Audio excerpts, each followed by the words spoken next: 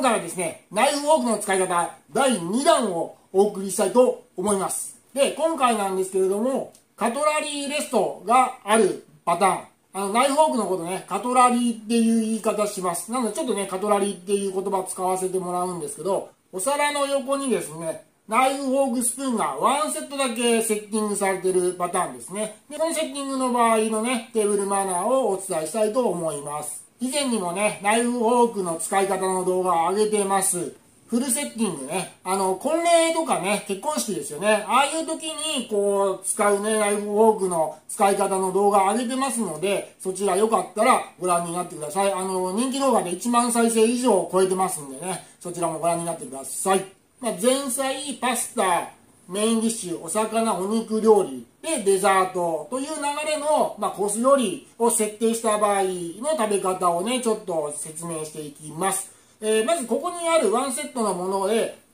前菜からメインディッシュまでで、こちらのナイフフォークスプーンだけを使います。で、デザートの時だけ別にね、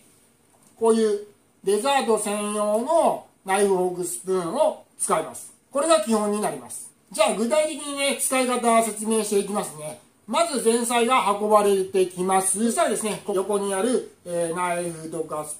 フォークですね。これを使って前菜を食べます。まあ、あの、スプーン使っていただいても結構です。で、まず前菜が食べ終わったら、このナイフフォークをですね、このフォーク、まあ、カトラリーレストに戻します。これで、お料理食べ終わったっていう合図になります。ただね、お料理が食べ残ってる間は、こう、ハの字にするね。こうやって。よいしょ。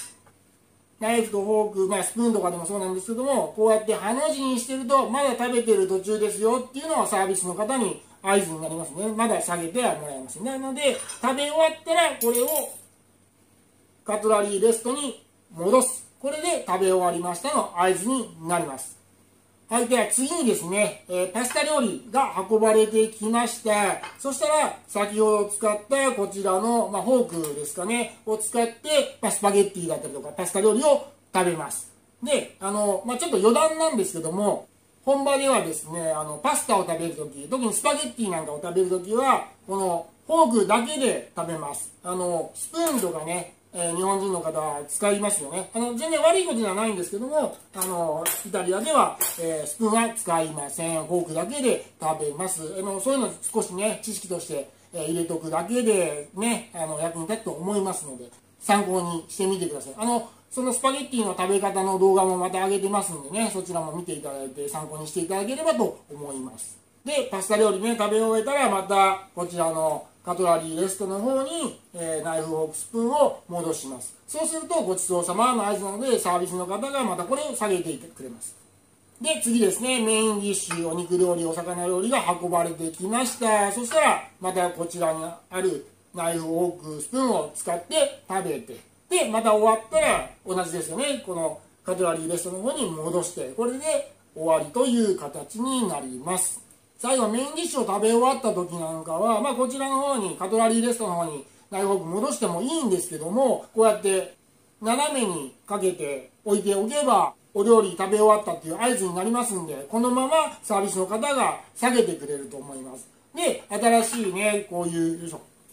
デザート用のナイフォークスプーンをここにね、新しくセッティングしてくれると思います。このね、カトラリーレスト自身も多分ね、サービスの方ね、下げて、新しいもの持ってきてくれるか、デザート用の別のね、敷物みたいなのを用意してくれるかわかんないんですけども、まあ、そうやって新しいものを用意してくれると思いますんで、はい。えー、おまけ動画といいますか、追伸といいますか、カトラリーレストを使ったレストランでお食事をする場合、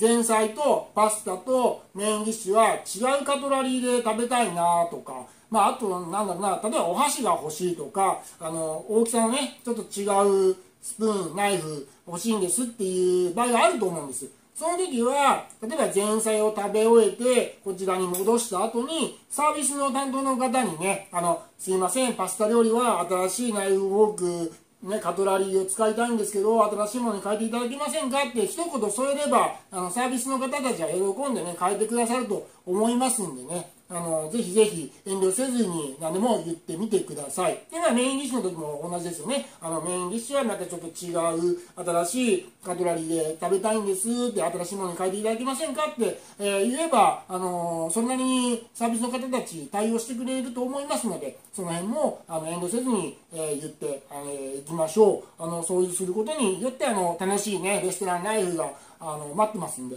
はい、ぜひね、まあ、テーブルマナーですよね、ある程度のテーブルマナーの知識をつけて、えー、お近くのね、えー、レストラン、まあ、できればイタリア料理店にね、足運んでいただいて、楽しんでいただければと思います。